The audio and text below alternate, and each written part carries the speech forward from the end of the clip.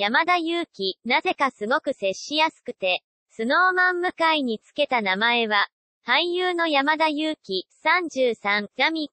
東京、六本木のテレビ朝日本社で同局ドラマ、特捜9シーズン7、今日3日スタート、水曜5 9 0の取材会に出席した。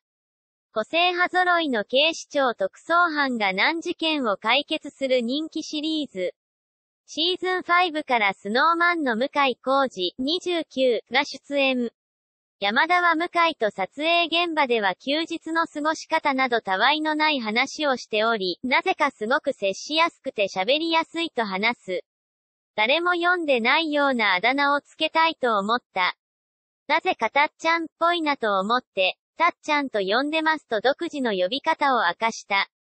井ノ原も、現場では、さっちゃんだねと明かし、さっちゃん要素全くないんだけどねと笑った。